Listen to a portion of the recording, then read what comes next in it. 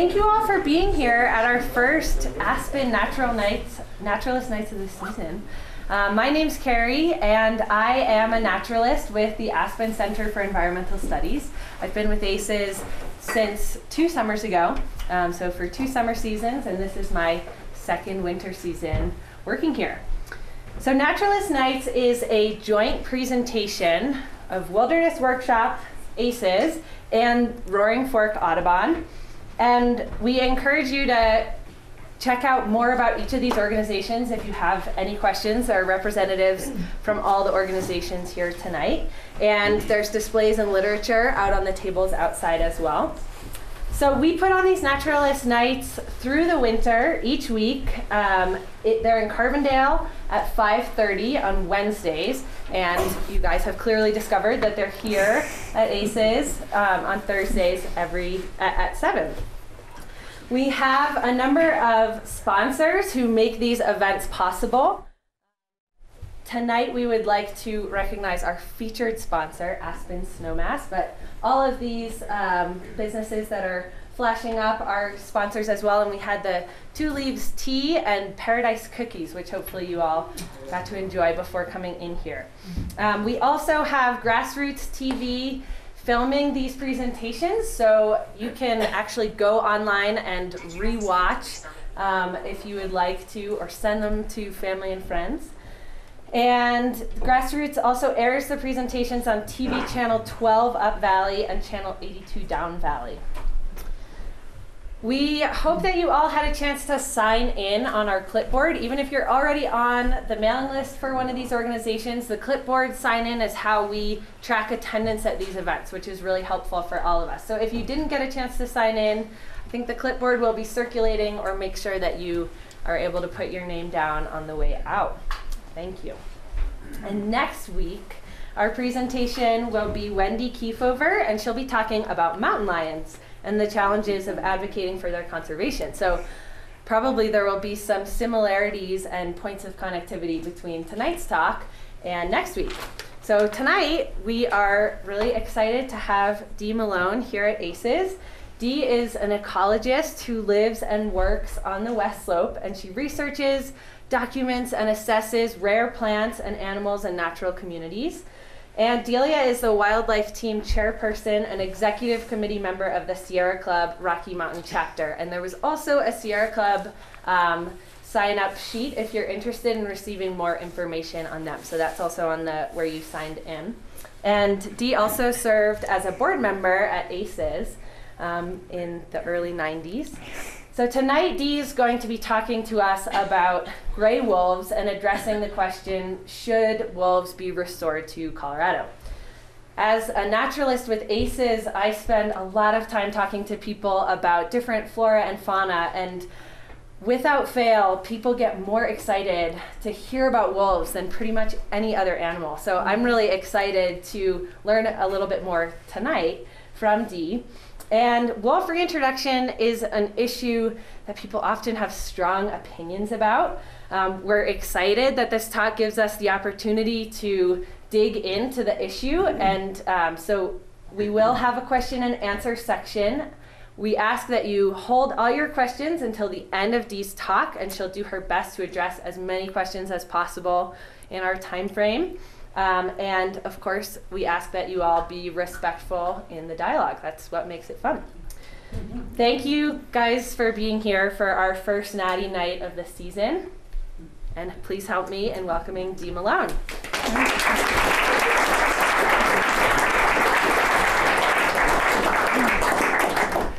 Thank you all for being here. I appreciate it very much. I do need to also thank Roaring Fork Audubon, again, our sponsors, as well as Wilderness Workshop, as well as Aspen Center for Environmental Studies.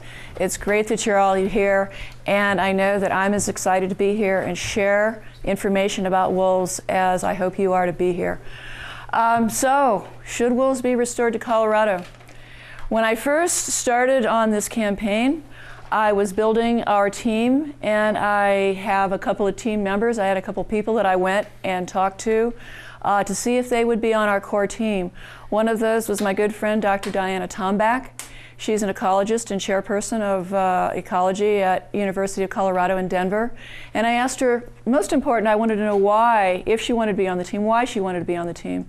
And of course, her answer as an ecologist was that she thought that wolf restoration was essential to restoring the ecological health of Colorado. I asked another good friend, uh, John Seidel, who used to be the West Slope wildlife manager for Colorado Division of Wildlife. He's now retired. And I said, John, I'd love you to be on the team, but first I need to know why you'd want to be on the team. And as the wildlife biologist for DOW in charge of elk and so on on the West Slope of Colorado, he said, because the elk need wolves. We need to restore the health of the elk population. That's why I want to be on the team. I said, Good job, you're on it. um, I went to ask another person who I wanted dearly to be on the core team, and she said yes, but she, t- she turned it around on me like she normally would. Uh, Connie Harvey is on our team, and she said, Dee, why do you want to restore wolves to Colorado?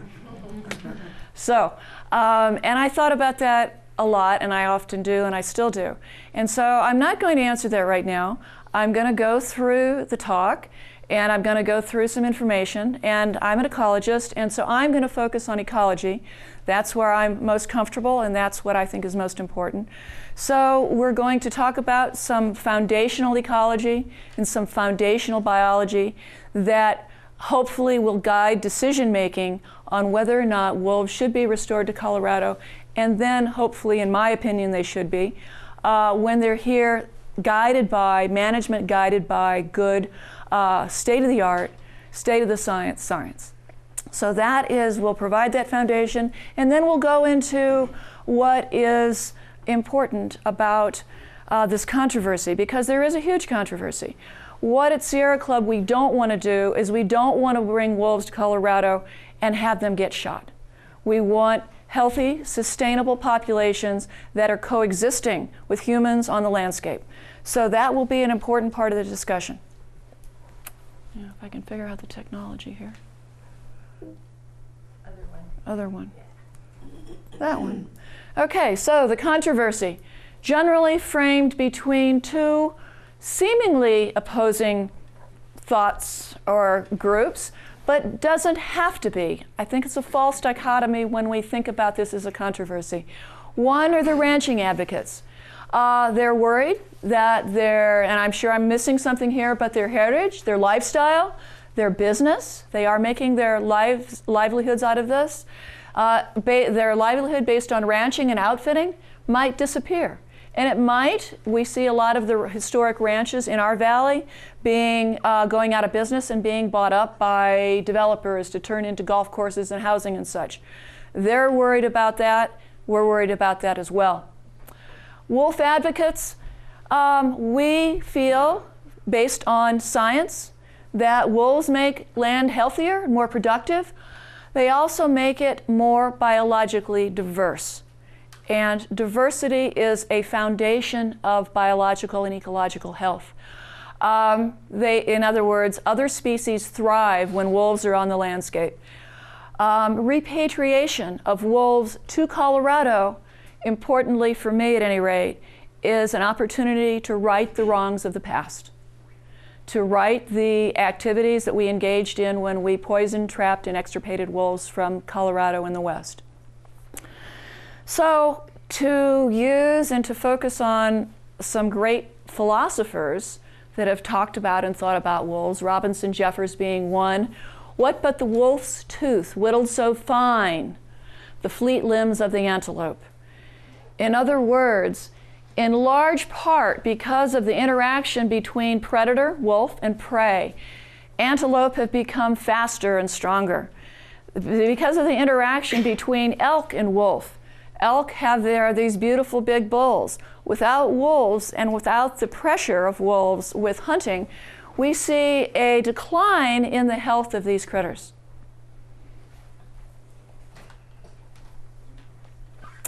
So, just a little bit of a background, because I think a little bit of background is important for us to be able to go forward with the knowledge of the history, because often uh, that history needs to inform our movement forward.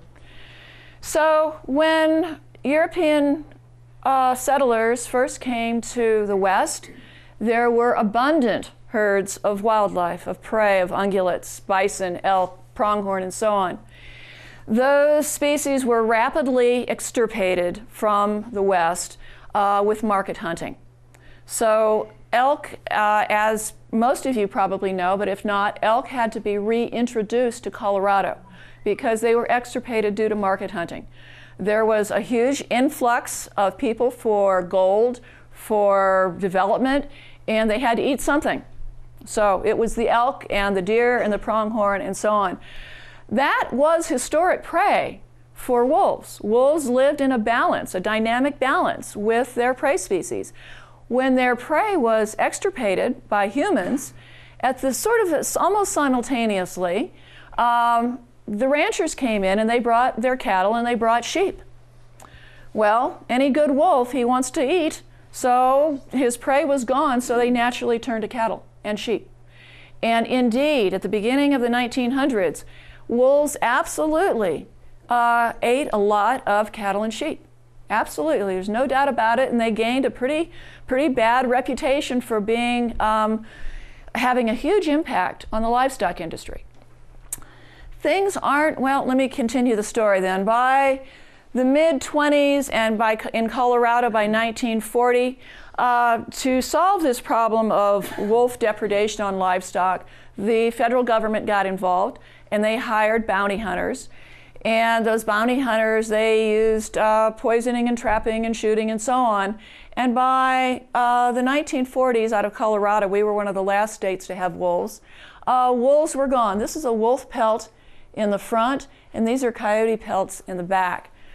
Um, Wildlife Services is still active in uh, kind of an odd name because the Wildlife Services, their job is to kill wildlife primarily for the ranching community. So in 2013, this isn't all they killed in the year 2013, but they killed about 4 million animals uh, in 2013, including uh, 75,000 coyotes, 866 bobcats, 528 river otters, 3,700 foxes, and so on. So they are still very active. Um, and the ranching community pays half of the cost of a bounty hunter to go out and kill critters for them. Um, so that is still an active thing. They were primarily responsible for the extirpation of wolves. Well, this is, to many conservation folks, this fellow, Aldo Leopold, is a hero. And he wrote extensively and beautifully about how important wolves are on the landscape.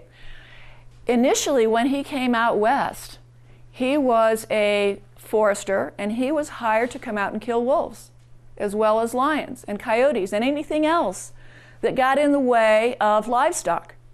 Because, like a lot of folks in the 30s, they thought that less predators meant more prey. Well, um, he changed his mind by about the 1940s, and he had this kind of epiphany. Uh, when he saw what the cascades of effects occurred with the loss of wolves from the landscape. And indeed, at that time, he supported and promoted the idea of reintroduction of wolves to Yellowstone. So finally, in about 1973, wolves became protected by the Endangered Species Act. And then finally in 1995, they were repatriated to Yellowstone. And I will focus on Yellowstone quite a bit with regard to data and information because Yellowstone is kind of this grand experiment. It's like this grand laboratory where wolves were extirpated not, you know, not because we thought it was going to be ex- an experiment, but just because we thought that it meant more elk. And then they were put back in. And they weren't really put back in because we knew what was going to happen. We, they were put, they were repatriated to Yellowstone because national parks have a mandate to have natural communities. And the biologists realized that the community wasn't complete, it wasn't whole. So that's why wolves were restored in essence.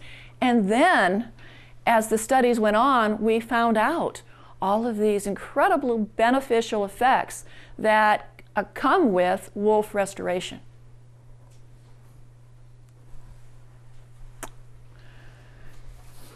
Here's our guy, Aldo Leopold, writing well after his visit to New Mexico and Arizona where he extirpated wolves. And in his writing uh, from the Round River, uh, what, the last word in ignorance is the man who says of an animal or plant, What good is it? If the land mechanism is good as, is, is, is a whole is good, then every part is good, whether we understand it or not. If the biota, in the course of eons, has built something we like but do not understand, then who but a fool would discard seemingly useless parts? To keep every cog and wheel is the first precaution of intelligent tinkering.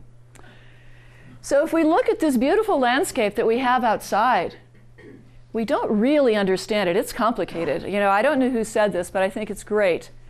This isn't rocket science. Ecology isn't rocket science, it's much more complex. so we look at it outside and we see this beautiful landscape. We don't really understand it, but we need to keep every part. All the parts are important.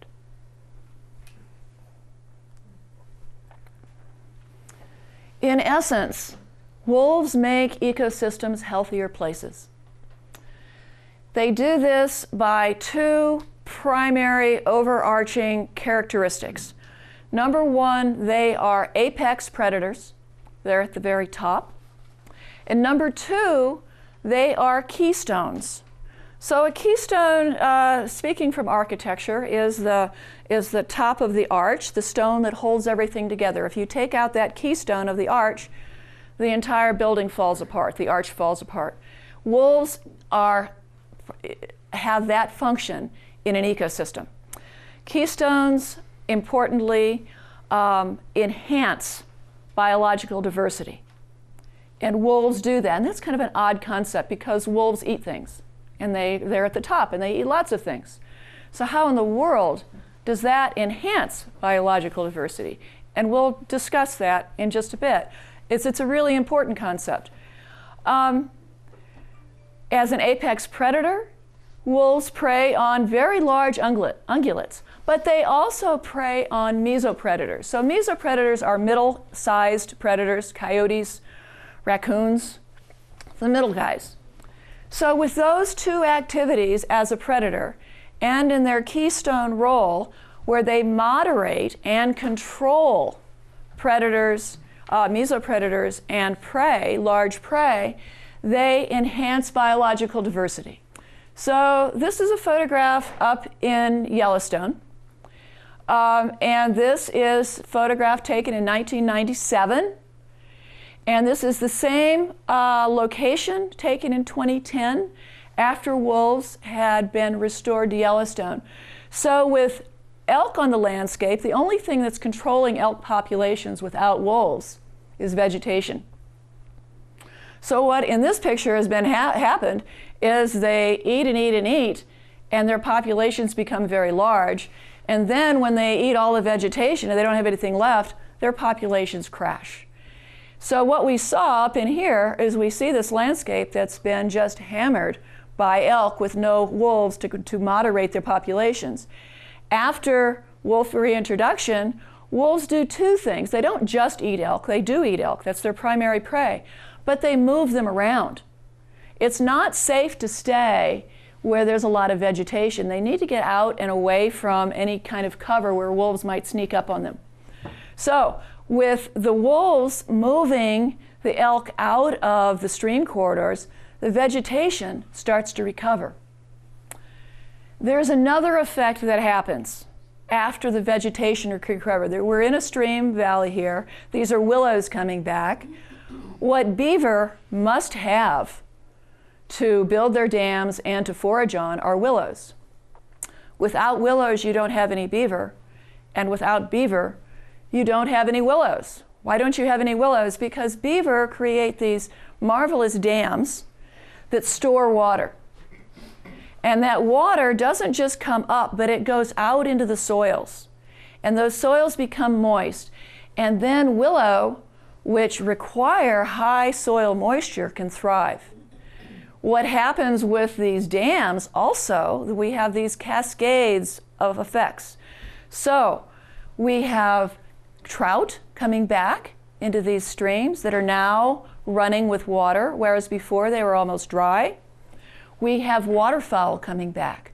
We have songbirds that would nest in these willow, Wilson's warblers, yellow warblers, song sparrows, warbling vireos, all coming back because wolves ate elk.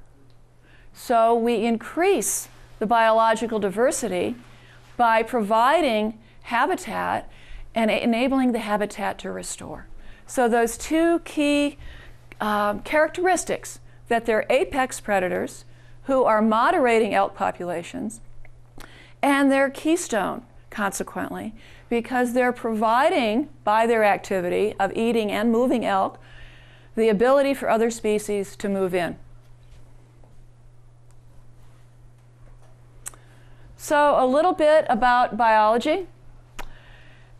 There are a couple of biological characteristics that enable their role as a keystone apex predator. Um, the ability for these, you know, right over here, there's a couple of dead wolves. They're not very large. So they're, they're you know, they're, their wolves weigh in at around 100 pounds or so. A big bull elk weighs in at around, oh, 1,000, 1,200 pounds. It's not very likely that a single wolf is going to take down a bull elk. Indeed, most elk, uh, most elk, most wolves after they after they've died and they've been necropsied, most of them have some sort of injury, broken broken ribs, broken legs, uh, cracked skull, because it's dangerous to do this. It requires cooperation from several pack members and um, intact families to take down a big bull elk like this. The other part of that is that indeed when they the, in yellowstone when they've gone and even before yellowstone when they've gone to uh, look at the animals that elk are, that wolves are taking down those elk are inevitably uh, in some way debilitated they've got some sort of disease. They're old. They're, they've got a heavy parasite load. Something that's made them not healthy. Wolves focus in on the not healthy critters. The other part about um, the evolved biology that enables them to be such an important apex keystone predator is the ability to self regulate their population. Whereas elk are regulated by vegetation, so when there's no predator around to moderate those populations, and their populations fluctuate with the vegetation, when wolves are there, wolves regulate their own populations so that you don't get these huge fluctuations in population, so that their population stays at the carrying capacity, how much forage there is in the environment. They do this by, the female does it by stressing the other females in the wolf family and preventing them from ovulating. The male does it by stressing the other males. So it's only the alpha male and female in the family that are reproducing. I need to put a caveat in there to say that that only works as long as the family is intact.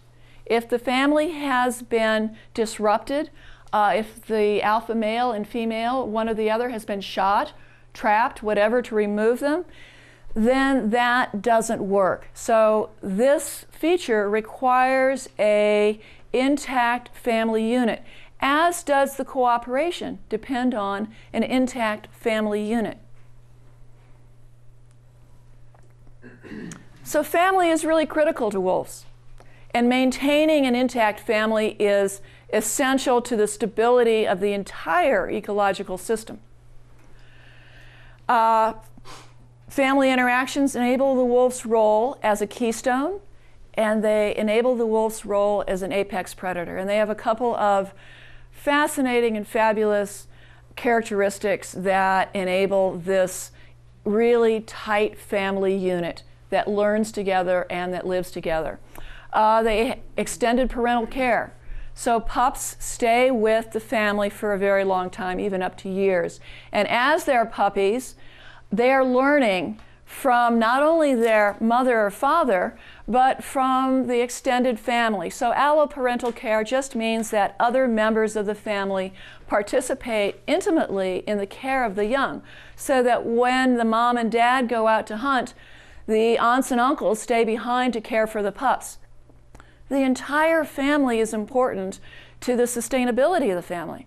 The family hunts together, it plays together, it stays together. And to enable its role in that keystone role of eating elk or bison or caribou, whatever the very large prey species is in the ecosystem, you have to act as a family.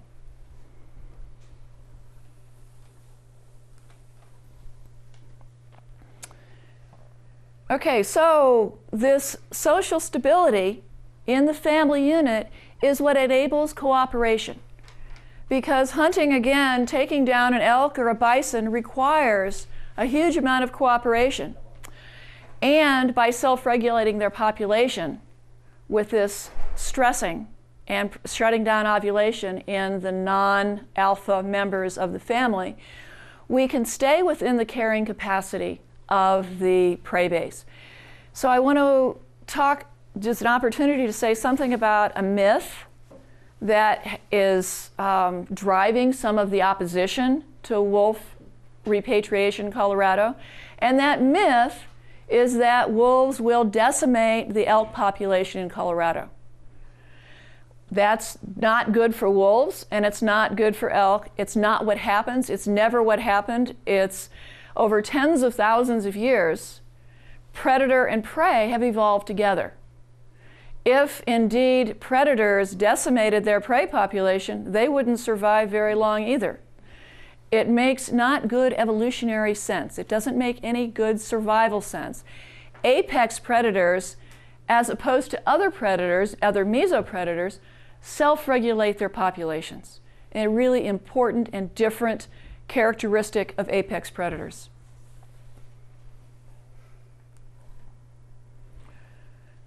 I thought that because fewer wolves meant more deer, that no wolves would mean hunter's paradise. But after seeing the green fire die, I sensed that neither the wolf nor the mountain agreed with such a view. What we've seen and what we see in Colorado and what we saw in Yellowstone and in Montana and in Idaho and in places where wolves were have been removed is the decline of ecosystem health. What we've seen when we put wolves back into Yellowstone is the recovery of ecosystem health. Wolves are not the only part of the picture, but they are a really essential part of that recovery picture.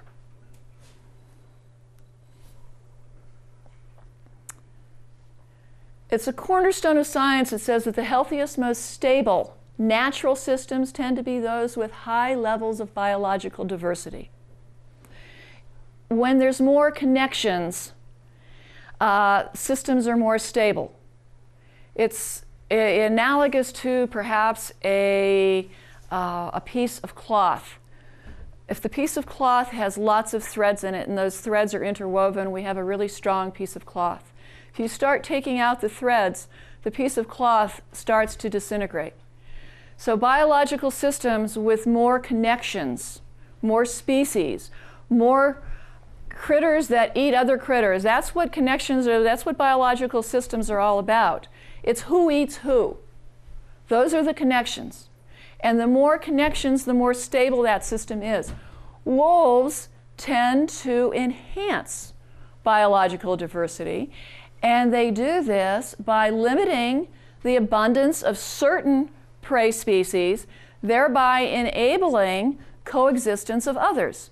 So one of the one of the main reasons for the, the overabundance of elk, or I, I, let me step back, one of the reasons for the decline of mule deer in Colorado is the overabundance of elk. The Colorado Mule Deer Working, Working Group, which is CPW's um, biological group, as well together with Wyoming, and Montana, and Utah and Nevada, uh, did and have done an ongoing research on the decline of mule deer throughout Colorado. And one of the major factors is an overabundance of elk. Elk eat everything. They, they, you know, as a friend of ours said, they can eat, they don't just eat the cereal in the box, they can eat the cardboard and get nutrient out of it. Deer are different. They're much more sensitive and they're much more uh, specific about their forage needs. So elk, when there's so many elk the, on the landscape, they outcompete the deer. And so we lose the deer. And so we have a less diverse prey population. So by removing some of those uh, prey, we leave room for other prey. Wolves also prey on coyotes. They don't eat them, they just kill them. Keeping coyote populations in check is a major function of an apex predator. Um, without his role, without the apex predator, coyote populations exploded. And coyote populations have had detrimental impacts on biological diversity throughout the Rocky Mountain West. Um, let me go just a little bit forward. Talk about the vegetation first. So these, yes, they are the same photographs. This one's a little bit closer up. This one's taken from a little bit further back. This is in Rocky Mountain National Park. Um, when we have elk on the landscape that aren't moving around and there's an overabundance of them, they tend to sit in one area and graze and graze and graze until there is no more. What they're having to do in Rocky Mountain National Park, because there are no wolves, is they're actually having to fence out elk out of the riparian habitat to let the willow recover. With the elk there, there's no chance of recovery. So without the uh, wolves to move them around, the only solution is to keep the elk out of the area. Um, basically, it's very simple. If the elk are hanging out and the, if there's too many willow and there's wolves around, the wolves can sneak up on them. So they tend to move out of there. They tend to get up on higher ground and they move them around. And that enables the recovery of the vegetation, which provides habitat for all of the other critters like trout and like waterfowl and like songbirds. So biological diversity is increased simply by moving elk out of the riparian habitat. Um, what we saw in Yellowstone National Park, for instance, um, this is 1990. This is with the reintroduction of wolves here. Uh, we see an increase in wolves, we see a decrease in elk. Yes, indeed, we do. We see a decrease in browsing on trees. We see an increase in aspen we see an increase in the recovery of cottonwood, which were almost completely gone from Yellowstone National Park. We see an increase in willow. We see, miraculously, an increase in beaver. Before uh, wolves were repatriated to Yellowstone, there was one population of beaver in the park. Uh, nine years later, there's 12 populations of beaver in the park. And the importance of one of the many things that beaver do is they store water. And in the arid west, water storage is a really critical concept. Beaver do it naturally. Beaver were here uh, in abundance. Yes, they're here now, but nowhere near the abundance that they were before we trapped them out. Uh, streams have changed dramatically without the water storage. It's the, in the west, it's the surrounding soils that store water so that in the late season the streams and they, that water discharges out of the soils and into the streams so that in the late season the streams are still flowing without beaver to slow down and store that water and to enable out of bank flows during spring flood the soil doesn't get recharged so there's a huge cascade of effects going on here uh, wolves move beaver uh, wolves move elk out of the habitat Willows come back, beaver come back, make their dams, store the water. Uh, the streams continue to flow. A marvelous cascade that occurs because of the reintroduction of wolves. we start to see more critters and we start to see more connections because of those um, because of those uh, vegetation and the ecosystem that comes back. So we start to see the beaver come back, which enables habitat for trout, which enables amphibians to come back. Uh, even pronghorn populations have surged with the reintroduction of wolves. And it's a great concept. We see songbirds coming back. We see coyote populations decline. And the coyote population decline has a direct uh, impact on the resurgence of pronghorn because coyotes are one of the main predators of pronghorn fawn. So, by holding down coyote populations, wolves killing coyotes, the pronghorn population was allowed to come back. So, we see increased biological diversity by the wolf's action as an apex predator. Um, scavengers, eagles, bears, ravens, all scavengers, an important part in the recycling. They all have a better food resource because when wolves uh, have their their fill of elk, they often go they go and go to sleep for a while, and during that time when the wolf is sleeping, the scavengers can come in and have their turn at the table.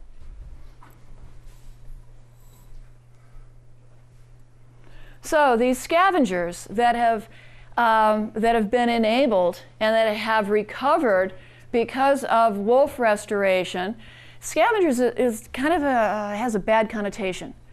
Scavengers in the uh, cycling and in the in the feeding levels are really a critical part of the entire ecosystem because they're the ones that can, can convert dead matter into living matter. So they're an important part of this whole cycle. We don't often think of grizzly bears as scavengers, but they are. That's one of their primary food resources is carrion. And wolves provide that carrion. Uh, wolverines are primarily scavengers. And wolves provide that carrion. A really important provider for eagles, bald, bald eagles and golden eagles, weasels, mink, lynx, cougar, grizzly, and a lot of bear species. So, by providing uh, an excess of carrion, wolves are enhancing biological diversity in that way as well. So, we're getting more species into the system, we're getting more connections, we're getting more uh, feeding connections. Let me also, this is an opportunity to address yet another myth that gives wolves a bad name. Wolves um, can only eat about 20 pounds of meat at a sitting. Sounds like a lot. Um, if you've got, say, 10 wolves in a pack, and you've got, they just took down an elk that weighs 1,000 pounds, that means that there's about, they ate about 200 pounds of meat. That means that there's about 800 pounds left over. Well, they eat their 20 pounds and then they go off maybe a quarter mile, half mile, and they go to sleep like after Thanksgiving dinner. And they sleep for quite a while to digest this 20 pounds of food. During that time, all these scavengers come in and they have their turn at the table. The myth has come about because often humans will come across a kill and they'll see that the wolf is gone and they'll think, and the myth is that wolves just kill for fun, that they've left. And they leave it there and they're just, they're just, you know, these quote, killing machines. It's just not so. It's because humans have disturbed uh, wolves and they're not going to come back to the kill after they've done it. Wolves are simply sleeping off their, their gorging, and during that time, it's an opportunity for all of these other scavengers to have their fill. Wolves even buffer the impacts of climate change. As our climate warms, our winter season is getting less and less. Winter is the time, the length of the winter, is the time when elk are basically in starvation mode. They're simply surviving. They're, they're, they're, the caloric intake isn't sufficient to sustain them. So they're standing as still as they can, they're moving as little as they can, and they're just surviving the winter. The longer the winter is, the more winter kill you get. The shorter the winter is, the less winter kill you get. So as winters are getting shorter, and they are up in the northern Rockies, and they are certainly here, the amount of winter killed elk is less and less. So, well, that's great for the elk, maybe, um, except that their populations are not going to be impacted by weather. But for critters like grizzly, when they wake up out of hibernation, that means that there's less and less for them to eat. Because there's no there's less winter kill elk. Because when grizzly come out of hibernation for instance they depend on that carrion to take carry them over until the vegetation starts greening up. So grizzly you know they're large they're they're scavengers and they're also uh, eaters of vegetation. They eat a lot of grass they eat a lot of grubs uh, they eat a lot of roots they are really not predators. They'll certainly predate if they have the opportunity, but that's not their primary uh, means of sustenance. So, what wolves do, very simply, is they're providing carrion throughout the year. They're not, there's not these huge spikes of carrion at the end of the winter, just, or for instance, at the, during hunting season, at the end of hunting season, when hunters leave their, their gut piles, which is a source of carrion for a lot of critters, but it's a spike. It's not distributed throughout the year. So that spike, uh, whether it's winter kill or hunter kill, doesn't carry animals throughout the year. Wolves are killing all the time. They have to eat all the time. They're providing the carrion throughout the year. So they are an important uh, buffer against a changing climate.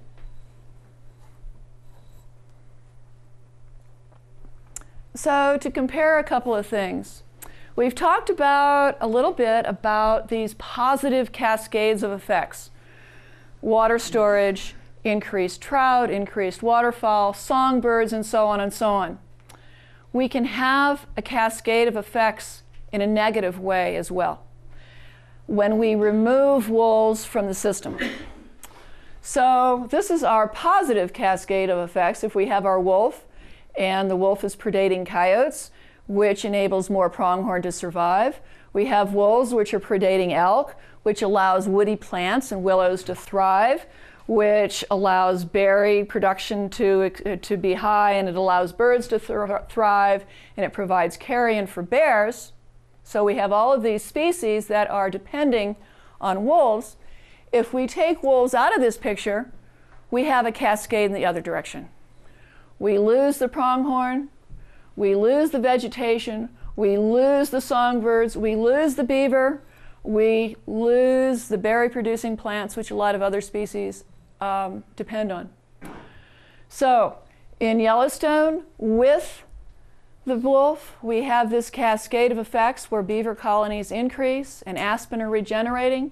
The coyote population has declined dramatically, dramatically, 39% at least. Um, on the other hand, by comparison, in Rocky Mountain National Park right now, what we see is that elk in 1913, there was 28 of them that were reintroduced to Rocky. Well, that population without wolves, because wolves had been extirpated from Rocky, that elk population rose to about 2,000. It's a huge number. Uh, and there's no predators to really moderate their population.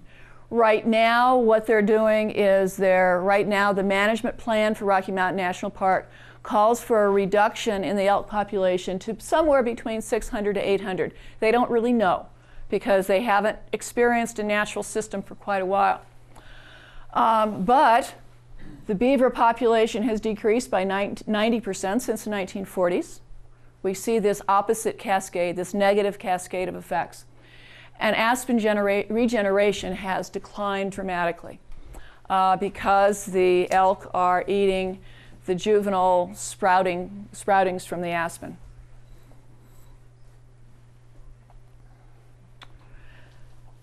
So Aldo Leopold goes on Since then, I have lived to see state after state extirpate its wolves. I have watched the face of many a newly wolfless mountain and seen the south facing slopes wrinkle with a maze of new deer trails. I have seen every edible bush and seedling browsed, first to anemic desuetude and then to death. I have seen every edible tree defoliated to the height of a saddle horn. Such a mountain looks as if someone had given God a new pruning shears and forbidden him all other exercise. In the end, the starved bones of the hoped for deer herd, dead of its own too much, bleached with the bones of the dead sage or molder under the high lined juniper. So, this is um, Rocky Mountain National Park again. This is the willows uh, before being excluded by fencing because they don't have predators. They have mountain lions in Rocky Mountain National Park, but mountain lions do not predate elk. Uh, mountain lions predate typically deer. So that is, uh, although mountain lions are apex predators, they have a different role in this system. So after fencing elk out of the willow, out of this, this is near a stream, this is what it looked like four years later. So we start to see recovery when they get elk out of there, which is what wolves do naturally. They move the elk out. But we don't have wolves yet, so that's what they've had to resort to is fencing.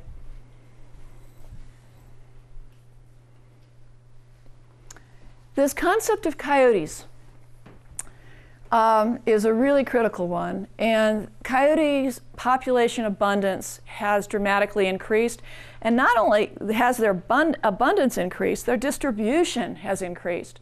So, from records from uh, Aldo Leopold again and others, before they extirpated wolves from the Sierra Madres, there were no coyotes. As soon as they got rid of the, the wolves, the coyotes moved in. They were uncommon in Yellowstone. When they got rid of wolves, they were hugely common. Uh, they were absent in Alaska's Kenai Peninsula until wolves were extirpated from there, and now they're very common. Um, conversely, Yellowstone, when wolves were reintroduced, here we have this other cascade of effects going on. When wolves were reintroduced, the Yellowstone coyote population declined by 39% at least. So, coyotes. Black footed ferrets, as most of you know, we've spent millions of dollars trying to reintroduce black footed ferrets uh, into the West. Coyotes caused 63% of 59 deaths it's dramatic because black-footed ferrets typically in their habitat are fairly apex predators. They don't have too many other predators. Pygmy rabbits, oh, these are all uh, federally listed either endangered or threatened species. So coyotes have had a huge impact on these species of concern. Pygmy rabbits live on the, uh, typically there's a, they're in Oregon, but we also have a few on the west border of Colorado. Annual survival low with coyotes, the most common cause of mortality. Swift fox, uh, low survival with coyotes, major cause of death. Least tern, nearly 100% of nesting attempts fail due to coyote predation. Um, and an interesting connection here, we've spent a lot of effort and money reintroducing lynx into Colorado. Coyotes, because of the competition for snowshoe hare, may be impacting and holding down lynx recovery.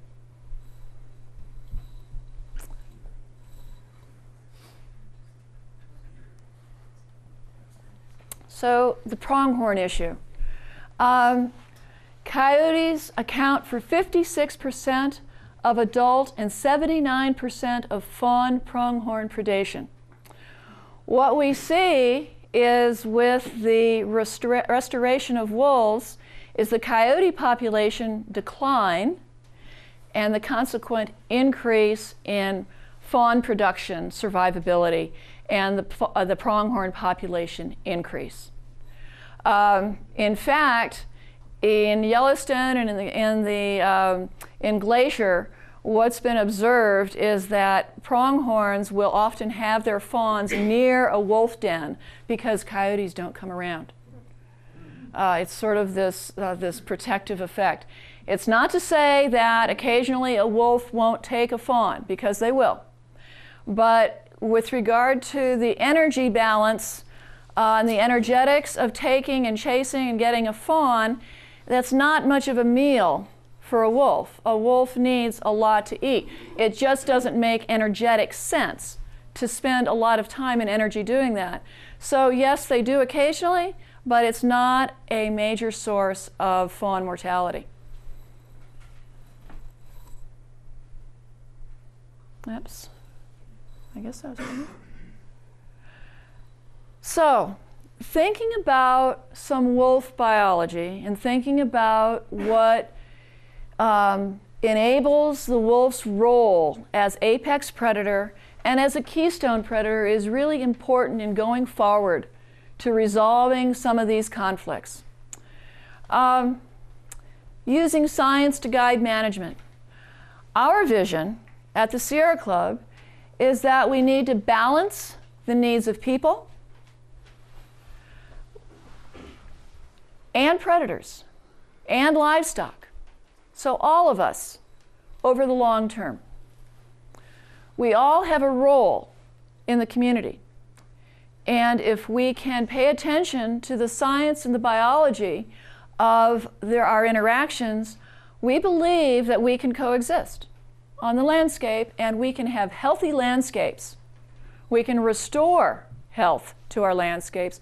We can have viable ranching and we can have sustainable wolf populations. This is a little uh, Mexican gray wolf that was just born, by the way.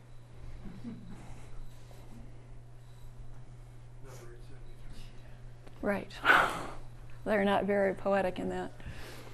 So, some of the strategies, not all, this is not a uh, one size fits all sort of um, strategy to enable this. But some of these strategies that ranchers are using up in the northern Rockies as well as down in New Mexico and Arizona, where there's 109 uh, struggling little Mexican gray wolves. Some of the strategies that ranchers use that have been very effective uh, include facility design. Um, so that simply speaks to corralling the sheep, for instance, at night, or when the cows are about to have calves, to corral the cows so that they have calves in a protected site speaks to herd management. So if you uh, keep your calves protected until they get old enough to protect themselves and send them out with a herd, uh, predation declines dramatically with every day that you keep that calf until it's sufficiently old to, to protect itself. Guard dogs, guard llamas, um, and, and several species of guard dogs that have been used historically are very effective. Um, rewilding. Rewilding and range riders. Rewilding speaks to the idea of reinstilling uh, a wild wildness to the cow, so they behave like wild critters. They behave like bison. Um, there's some controversy to that. Not all people like it. It doesn't suit all ranchers, um, but for some it works really well. Range riders keep the cattle tightly herded and they keep them moving. And that is a really important concept. Because what happens with range riders, and if we can, you can tight herd your cattle and you can move them across the landscape so that they're not staying in one place. What they've discovered in experimental plots over the long term uh, up in the northern Rockies is that they see the range recover. They see the grasses start to come back because the cattle aren't sitting in one spot for a long time. What that means is that they've actually seen that the range can support more cattle than if they do their, use their historical strategies of just turning the cattle out and letting them find their way. Um, another uh, part is timed calving.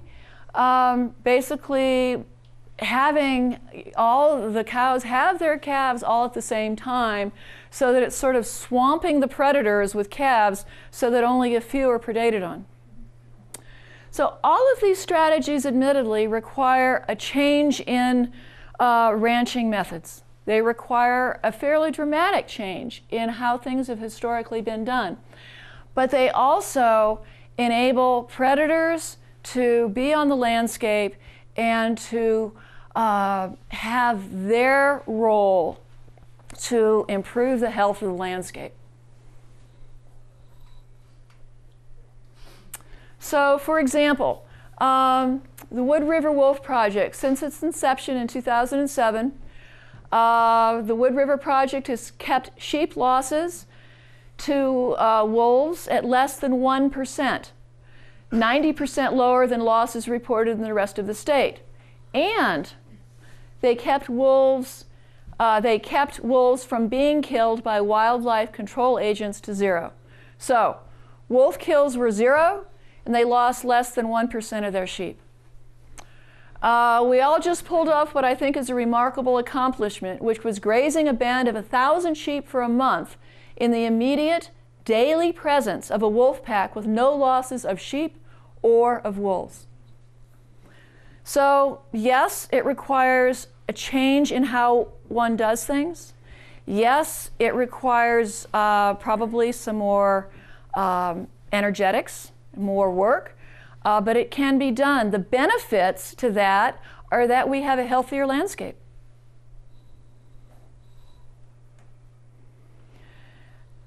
Oddly enough, what the research shows us is that the more wolves you kill, the higher livestock depredation you get. So, why does that happen? It happens because we have to think about the family structure. Family structure is the family is guided and uh, enabled by the alpha male and female, the parents, and they all work together. Those alpha parents teach the young what to hunt, where to hunt, when to hunt, how to hunt. If you lose those parents, you also lose that knowledge. You have a bunch of kids that are hungry, they're starving. So you got a whole flock of sheep, and they're really easy. They're much easier to pull down than a bison. So what do you go after? You go after the sheep you see an increase in the livestock depredation. You also see an increase in the pair formation because now there's no parents to say, no, you're not breeding, you're not breeding, you're not, we're the only ones that are breeding. So you get actual increase in breeding production. And you get young without any knowledge or guidance of what and when and where and how to hunt. So what they saw, and this is about uh, 16 years or so of data that they looked at to figure this out, that each wolf killed led to a 5% increase in breeding pairs and, consequently, a 5% increase in livestock depredation. Keeping the family together and using non lethal conflict avoidance, coexistence strategies can work. So, when you cull wolves, you get social disruption. You're taking apart the pack, you get increased breeding pairs, but those increased breeding pairs are often juveniles without the knowledge of what they need to do to hunt. Uh, you also get the dissolution of territorial social groups. So wolves control a territory. And within that territory, that's their, that's their prey base. That's where they're hunting, that's where they're living. When you dissolve the family, those territories break down. So you get a lot of, uh, you get a lot of going haywire um, basically, ultimately, increased livestock depredation.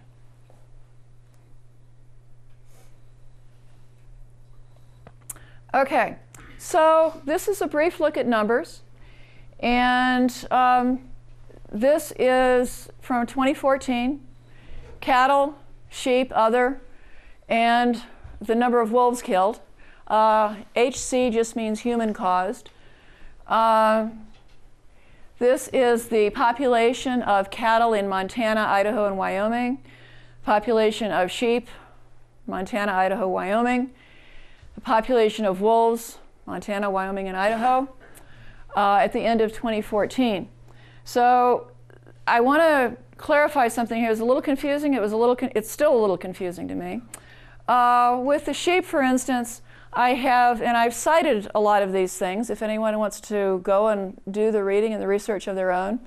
According to uh, this citation, which is the um, um, Northern Rocky Mountains Wolf Working Group, there were 172 confirmed losses to wolf depredation in 2014. According to APHIS, the USDA, there were 453. Um, I don't know. I actually called them um, to ask them why there's this disparity, uh, but there is. They haven't answered me yet.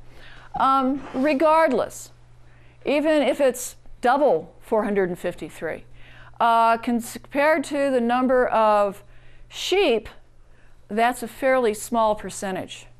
Uh, ditto with the losses of cattle compared to the numbers of cattle um, in those states.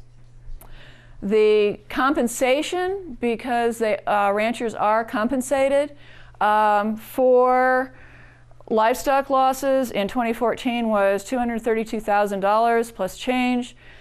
Uh, total tester funding, tester funding is prevention funding that is provided to ranchers that want to use coexistence strategies was $164,152 in um, 2014.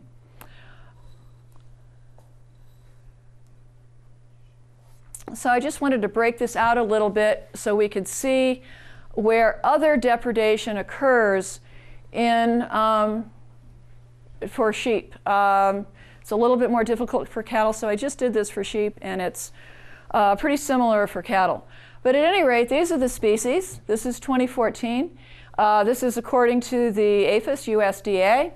Um, so in 2014, in Montana, Idaho, and Wyoming, there were 17,686 sheep lost, sheep and lambs lost to coyotes. This is, this is the critter here. Uh, there were 453 lost to wolves. There was 872 lost to eagles. Um, bears, they lost 710 to bears. So um, this is just a quick graph of non-predator losses and predator losses in those three states, blue, Montana, orange, Idaho, and gray, Wyoming. So this is non-predator losses of sheep and lambs up in there. And this is losses to predators. This is all predators uh, to sheep and lambs in those uh, three northern Rocky Mountain states. I would suggest that if the coyote population were reduced, uh, that the losses to sheep and lambs would come down dramatically. Um, and given that the uh, Wildlife Services has been trying to kill coyotes for the last hundred years, but they haven't, uh, wolves accomplished it in just a few quick years, that wolves might actually be a benefit in this situation. What about the dog question? Oh, dogs. Um, dogs are a real, a real, a real problem. 2,518 sheep and lambs lost to dogs. Um, vultures, 24. Ravens, 224. Um, so there, there's a lot of a lot of issues here. I, I'm really focusing on this coyote thing because coyotes have big impacts. They have big impacts on endangered species and they have big impacts on domestic animals. Um, another big controversy uh, with regard to wolf restoration is this concept that wolves will decimate the elk population. So we got to remember that in Colorado, there's about 280,000 or so elk, uh, with a big concentration of elk up near Meeker and Craig, about 90,000, so one of the biggest concentrations of elk. Um, in these other Rocky Mountain states, what we've seen in Montana, this is 2013, they don't quite have their 2014 numbers out yet. Um, hunter success simply means the number of hunters that applied for a license and that were successful in getting whatever it is that they applied for. This is elk, whether it's a cow or a bull or whatever. So in Montana, hunter success 24%, 44.5%, 17.6%, and in Colorado, 19%. All three of these states have wolves. We do not have wolves. Um, elk populations in Montana 158,000, 120,000, 101,000, almost 280,000 in Colorado. Um, importantly, this number, 14% above objective. So each, each state uh, Wildlife Agency has an objective that they feel the, the elk population is sustainable at. And in Montana, they're 14% above that. In Wyoming, they're 50% above their objective. In Idaho, and tw- only 20, they have 29 hunting zones for elk in Idaho. In 23 of those zones, they are at or above their objective. And the remaining uh, six zones, they are at about, instead of at 85%, which is the, the, when you're talking about the objective, the low part of the objective is 85%. Um, those zones, these six zones that are not, are at about 80% of their objective. So they're about 5% below their objective. Um, importantly, also, with this concept that wolves will decimate elk populations in Montana since wolf reintroduction in 1995, there's been a 45% increase. In Wyoming, a 16% increase. In Idaho, a 9% decrease. And that decrease has mostly been in these six zones where the elk population is down. And if you read the report from the Idaho Wildlife Agency, they will clearly say that that is due to occurrences of fragmentation, of logging, and of uh, fire suppression. Because with fire suppression, the trees have been able to close in, eh, which reduces habitat for elk.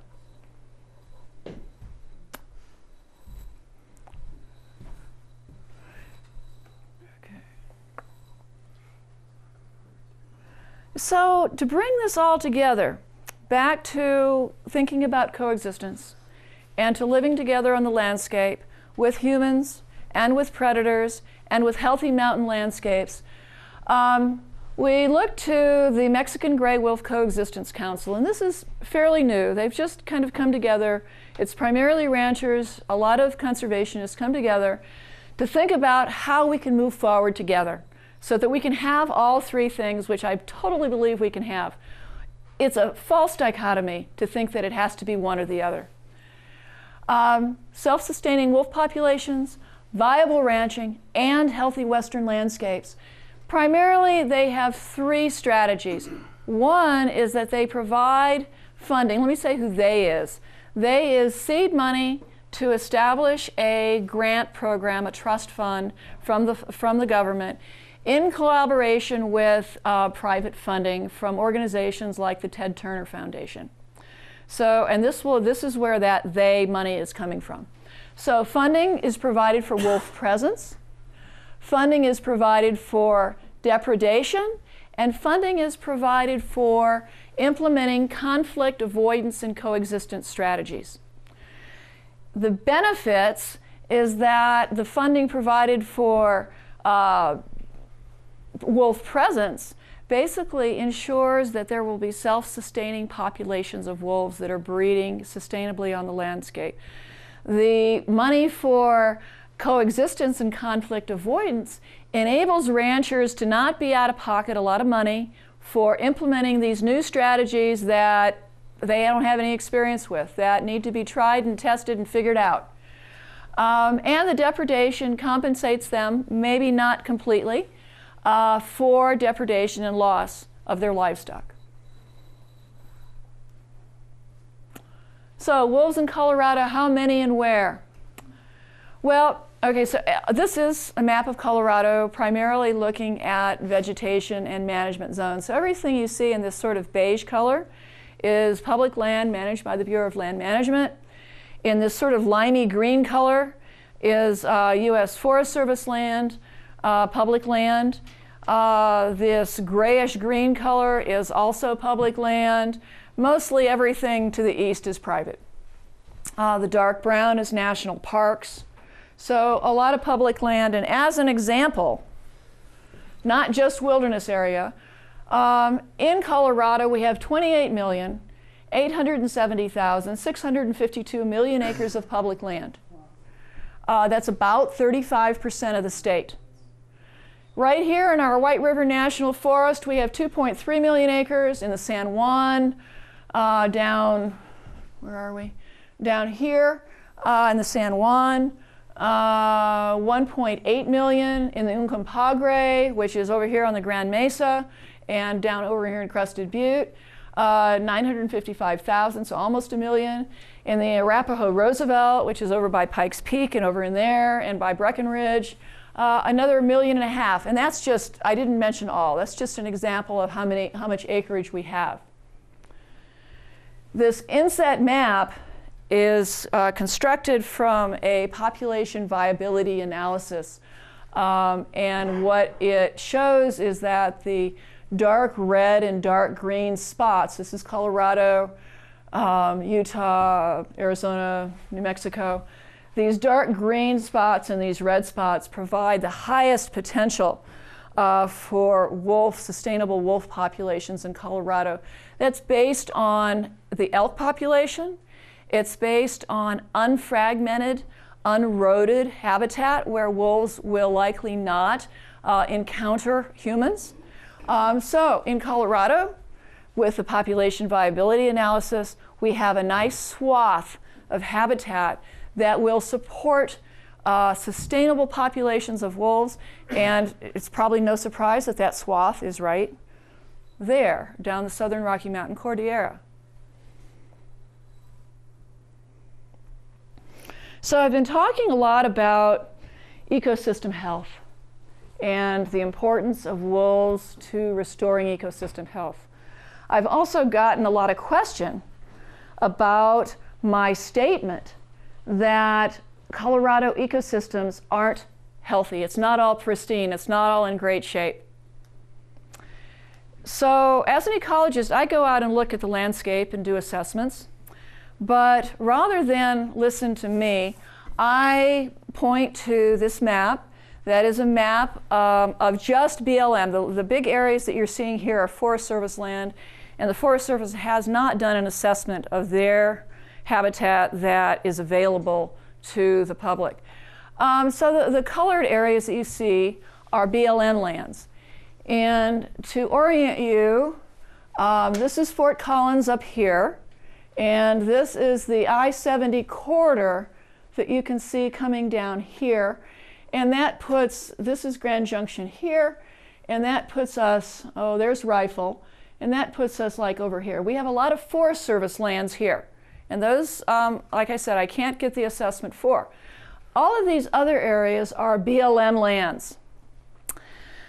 Using BLM's own assessment, their own standards of their own lands, a group called Public Employees for Environmental Responsibility did their own map of their own of their own records.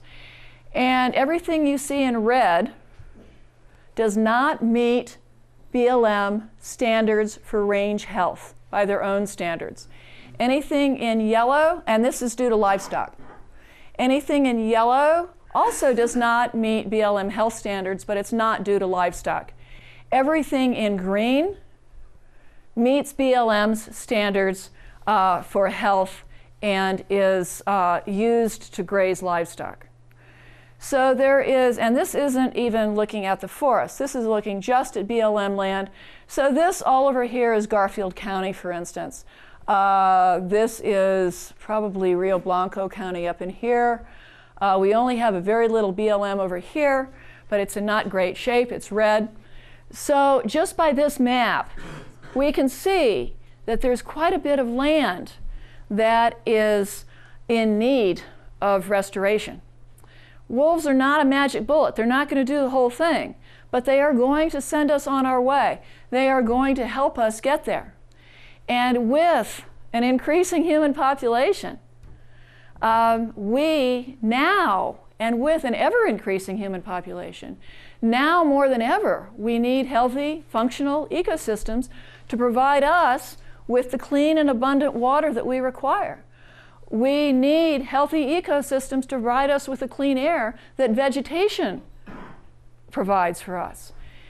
Getting those ecosystems back into shape is essential if we are to support a human population. And bringing wolves back into the system, back into the community that they evolved with, is critical to move us in that direction. So, our vision at Sierra Club for wolves in Colorado is one where there's an ecologically effective recovery. So, ecologically effective means that wolves can fulfill their role as a keystone apex predator. Population viability analysis, looking at numbers of elk and looking at habitat availability, tells us that there's room enough for at least 1,000 wolves in Colorado. We would like to see a genetic recovery. It means that right now, the genetics of the wolf populations in the West are depauperate. We had a huge wolf population. It's been reduced, and we only have a very small sample of that genetics. To enable genetic recovery, the populations have to be connected. They have to be able to move from New Mexico and Arizona to Colorado to Wyoming. We need a corridor of connectivity where wolves are protected and they can move safely so that there can be genetic exchange. And they need to be protected so that this little wolf that wandered amazingly all the way from Wyoming through the Red Desert, through the gauntlet of oil and gas development, all the way down to the north rim of the Grand Canyon, doesn't get shot as she wanders back up through Utah. And we then bring us to this part. We need management that's focused on non lethal, conflict avoidance, and coexistence strategies. We need all factors. We need healthy landscapes, we need viable ranching, and we need sustainable predator populations. So, my last word is to please think about supporting science based wildlife management. It will take us there and it will bring us a sustainable future. So, thank you all very much.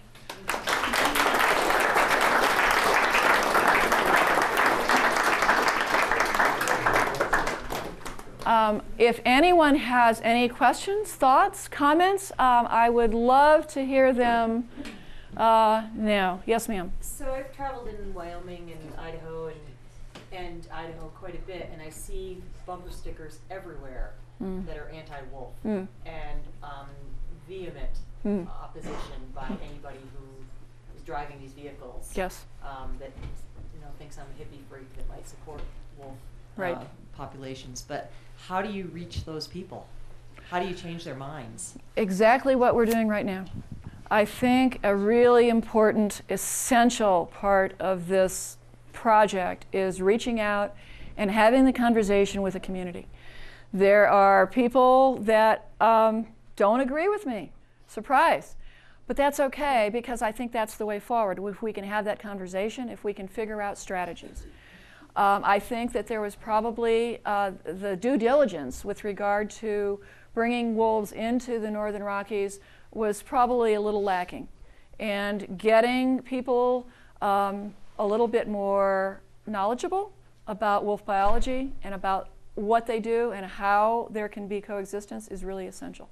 So I think in Colorado, um, we are starting out very sensitively, I think, with reaching out to the ranching community and reaching out to the outfitting community and bringing everybody together in the conversation. Have Yes, sir. to the governor yet? Next week, All right. Because he's not in favor now. he is right? not in favor. Neither are the governors of New Mexico, Arizona, or Utah. Uh, and that has to do with the recovery and the restoration of the Mexican gray wolf. Yes, absolutely right. Uh, Bill. I feel about as popular as the drum. Let me just put out a, a few comments. That's pretty popular, Bill. Yeah, well. Hi, thank you. Um, you know, Dee, you gave a, a really good professional presentation, but so much focuses on Yellowstone. And I just think that we are so, so different here. Our ecosystem is very different. We have a much smaller percentage of evergreen forests than Yellowstone does. The very huge percent of evergreen focus the elk in the riparian area, and I don't see that here. I don't think our riparian area is in bad a shape. I mean, you say we need beavers. I agree wholeheartedly. I'm not totally wild when they're in my ditches, but on the forest and on our permit, I can think of, of scores of active beaver lodges that I can show you today. If you look at Four Mile Park, I think cattlemen were guilty of poor management in the past. But I think that we have learned from those mistakes. Not everything, but we have a huge amount more willow than if you go to the Forest Service in Carbondale. I think they still have those pictures up of Four Mile Park in the 1940s. There was no willows there. You go today, it is solid willows. There are a lot of willows. The ecosystems just aren't comparable. But let me focus a little bit on your avoidance strategies because I think that might be where we have some of our most of our disagreements because I just don't see them as practical, legal, or anything. The flagging. I mean, we run prime, most of our cows are on the North Thompson four mile permit. We have some in the wilderness area on the west branch of Snowmass Creek. Can we put flagging all up over a 38,000 acre forest permit? Can we put flagging in, in the wilderness area? A lot of the other avoidance strategies. I mean, that's not to mention the sirens and the spotlights they talk about. I don't think that's what we want our forests to look like. To have those si- I don't go to the forest to hear sirens and spotlights and to see flagging all over. You say we can, you know, contain our calving time. A cow's cycle is 21 days. I get 85% of my calves in 21 days. I defy you to tighten it up further than that. We are already doing so much of these things. You say put the cows in the corral um, to calve. Our vet lost it last spring. She was screaming at our neighbors because they were doing that and all their calves were dying because the corrals get muddy and I keep my cows out in the brush where they can calve on nice dry ground. It doesn't matter if it's cold if they're dry. But if they're mud, the mud is death to them. And, and our vet just absolutely lost it and just started screaming at them because they were doing exactly what you recommend. Um, you know, it, it's just imp- impractical. And, and uh, you know, and, and bringing wolves here will have a huge cost both to the government agencies. It's a very expensive process to introduce wolves, but it'll also be very expensive to the ranchers. Um, th- they're real costs.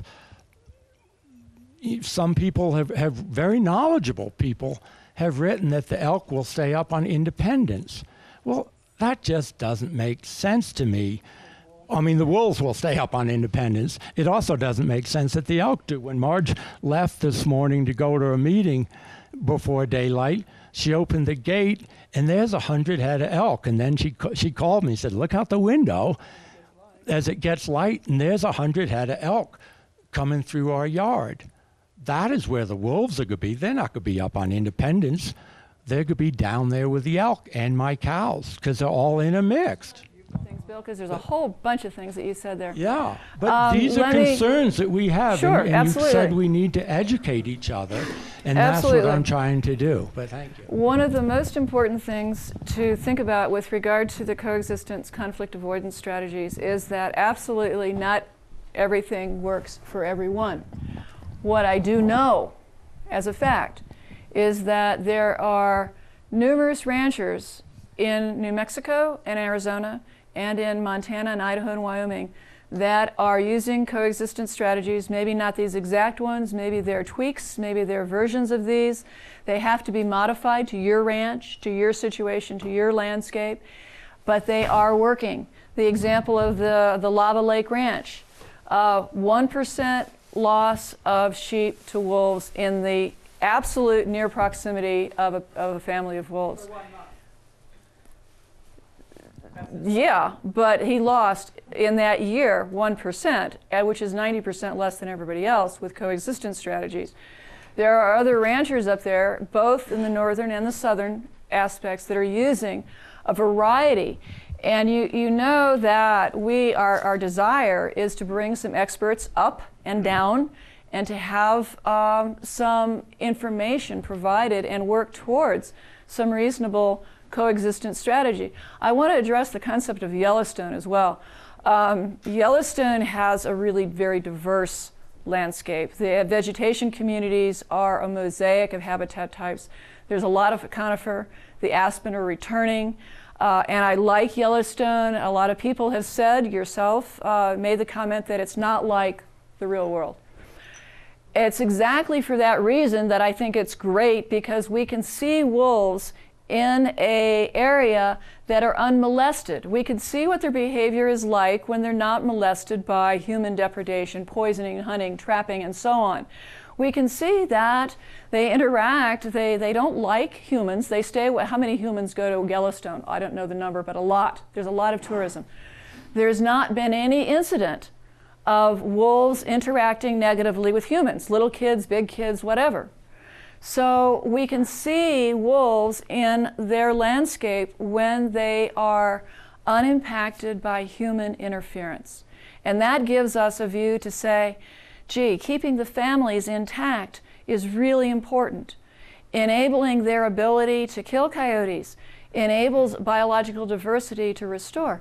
I am I totally understand that the strategies that they use may not work here. But it's not just the strategies that I had up there. It would have been exhaustive.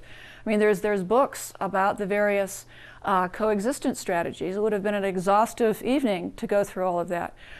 What, our, what we would like to do and what we would like buy in for is to bring a group of experts from the North, from the South, and to interact and to exchange ideas about how things might work and the best strategies for your particular situation because it's going to differ from situation to situation. It's one one strategy is not going to work for everyone at all, at all. That's not what we're proposing at all. We are proposing that our landscapes, you know, you, you pointed to Four Mile Park. I go up there. Yes, there's willow coming back. The stream is still extremely downcut. It's gone into an alternative stable, uh, an alternative unstable state. Uh, I've been all up through Thompson. Um, there are some streams that are in good shape. There are some streams that are extremely downcut and eroding. Uh, the water dries up at the end of the season. Um, things aren't in great shape with regard to sustainability. And I don't want, I want to give some, somebody else, uh, yes, yes, sir. Here, let me. Yes. Thank you again for uh, your presentation, and uh, thank you for your questions. I do appreciate that a lot. Um, one of the questions I've always had in hearing these these presentations is, um, these. Can you, all can hear me? Do you, I'll speak up. This is going to the TV. um, I'll speak up. When we hear about adaptation strategies for coexisting with wolves, um, oftentimes I hear extra work and oftentimes extra money, and that is that is a reality. I'm, I'm I'm sure of it. I'm sure you guys are familiar with it as well.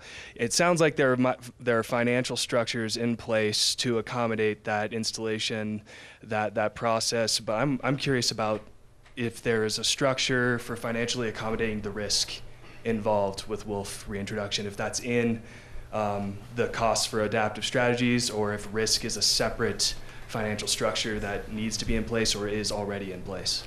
I don't know exactly what risk you're thinking of, but there um, is funding for presence. Period. If it, regard if the wolf doesn't have to depredate sheep or cattle or whatever, uh, aside from coexistence, implementing coexistence strategies, this particular view is thinking about or has funding in place for uh, providing you with money just for the presence of wolves on your ranch. I see.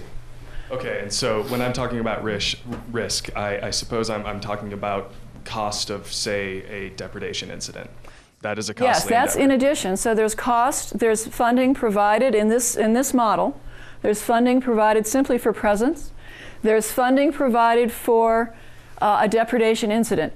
And I want to, I, be, before I, I need to say this, that um, and it's one of the number, I gave you two numbers for sheep. One was 100 and something, the other was 400 and something.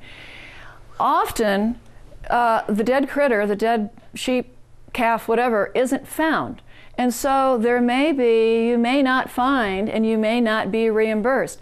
So in this model, we, they've really looked at that because that is a fact. I mean, you know, a calf may be out somewhere and it dies and you just don't know it. And so consequently, you're not being compensated because you can't turn it in. Um, this model looks in detail at that factor and you know, builds in an additive factor to um, account for that. Thank you so much. Sure. Um behind you. Uh, just real quick on the compensation piece. Uh, my name is James Bear. I'm a sheep rancher. Yeah, the, the way the state statute is now in Colorado, if you don't find the dead animal and document it within a certain amount of time and send that document into CPW and have a wildlife officer come verify the damage, you do not get paid. There is no extra amount of money built in. Uh, there is no extra compensation for what may have happened. You have to document it within a timely fashion. You have to prove it, and it has to be inspected. And then it has to be approved by the Wildlife Commission Board once a year. So there, there's a lot to that. Uh, Hey, let me did- let me I do let me just let, I'm going to forget, Jim, because you, you have so many that I'm going to forget from one to the next. Okay. So let me just respond to that. Um, that is the whole point of looking at a different model and of getting you guys involved in moving forward because I understand that that's an issue and I appreciate that that's an issue. So the model that the New Mexico Coexistence Council talks about um, speaks to that and speaks to the idea that uh, of this documentation of the bureaucracy that you guys have to go through to get compensated. And really, we're, we're focusing as much on coexistence and helping to fund for that as, as on compensation for depredation. So we understand that and we want to change that um, so that it is simpler and easier and more productive for you. Thank you. Okay. Uh, another, I'm not going to get on a soapbox. I do have some, some good questions. Um, but I, I was able to sit in the back tonight, mostly because I was late because I couldn't find out how to get in here. But uh, I saw people's heads kind of shake and things when Dee mentioned the predation, uh, how eagles kill lambs and how ravens kill lambs. And y- yeah, we have a lot of that. Uh, one thing that I thought was really interesting, particularly the state of Colorado, is that on the graph, uh, it showed that there were 710 sheep or lambs that were killed in three states, which were Montana, Wyoming, and Idaho. And that was for 270 some thousand sheep in each of those states. I can tell you for we run about 10,000 ewes here in the state of Colorado, and in 2014 we had 600, just our company. So we almost had as much as the other three states combined. And I'll tell you why. Is because in the early 90s, we litigated ourselves out of the ability to kill bears with the spring bear hunt. We can't trap bears anymore. You can't poison them. It's very hard to kill bears in the state of Colorado. We have a real predator problem with bears. And adding wolves to the mix for ranchers, it, it, it's almost overwhelming. We're, we're already just getting slaughtered. We have probably 15 to 20 percent predation throughout the whole year. So I have to put in 2,000 new sheep every year to maintain 10,000. And yeah, there's a lot of coyotes and there's a lot of other things, but I, we just can't take any more predators. It's for the ranching industry. It's it's. I don't know. My family's been doing this over 100 years. My kids are fifth generation in this business, and I, I don't see it being viable, even with the coexistence strategies. We have over 100 of those nice white dogs, the protective livestock dogs. We have a lot of them, and uh, boy, those wolves would just eat those dogs up. You know, Jim, we just haven't seen that up in the three northern Rocky Mountain states. We have what, whatever the number was, 67,000 losses to coyotes. I know they're But eating we the, just I know haven't- they're we eating just the haven't lion seen that. hunters' dogs So let's. Let's pass it off to somebody else who has their hand up that has this this fellow right here. Nope, this guy right here. Let, let me. No, yeah, no, you, you we've- passed we- me up quite a few times You know what? We're gonna go. We're gonna go back and forth. We had uh, Jim and we had Bill, and let me get it to this guy over here that with a different perspective. Thank you. Oh, I'm so smart, Marsh.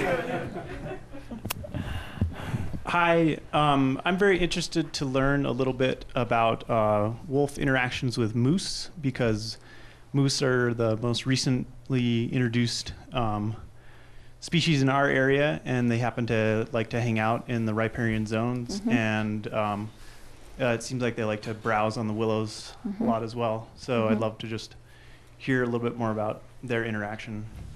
Uh, historically, there, when we look at the consumption of moose by wolves, unfortunately, uh, about two to three percent of their prey uh, comes out to being moose. Uh, moose were introduced, and they do have a huge negative impact on our very narrow, small riparian habitat. And over in Rocky Mountain National Park, over in the Kawuneeche Valley, there's quite a few moose there, and they've had some serious impact there. And I don't know what the management at the park is going to do about moose over there. Um, moose are huge, and they're really dangerous. Um, so in the northern Rockies and in the southern Rockies, presumably, hist- in the northern Rockies at any rate, they don't have much interaction with wolves. Weren't the moose decimated in Yellowstone when they brought the wolves back? I No. a statistic that there were about a thousand wolves in nineteen ninety-five or whatever they. There's 104 wolves in Yellowstone right now, and no, moose uh, were not decimated. That's different than what I read. Okay, uh, let's go to the guy on the right who popped. Yep, you. My, your left, my right, the, with the orange thing on his hat.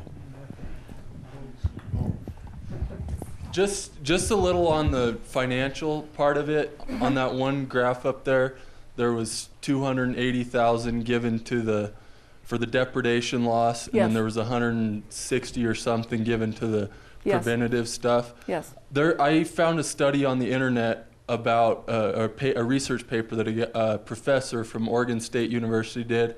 He went out to Eastern Oregon and was and studied several different ranches that ha- that were there when they introduced the wolves, and all these you know these modules were in place that they would be compensated for their loss and compensated for the the preventative costs for the flagging and stuff like that.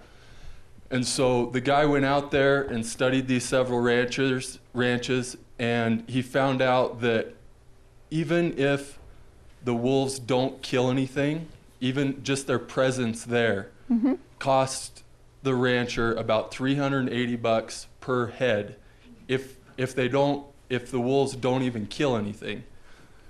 And so yeah, well, from uh, several different things. It, it goes the extra labor of having to, wa- you know, watch the herd, the um, the the abortion rate in this in the cattle being stressed out, and so you know, with with the average herd around here of you know 150 200 200 head, you're you're looking at you know 70 75,000 dollars just for the wolves being there with them not even killing anything. And so in those three states, they paid, you know, 180,000. That that just doesn't add up to me. Okay, so, let me let me answer your question. Okay. And yes, absolutely, wolves stress uh, cattle and wolves stress elk, and they move them around. And moving them around is a good thing because ecosystems recover when cattle don't sit in one spot. And that gets us into an entirely different, not different, but an additional conversation that is really important because we're talking about ecosystem services.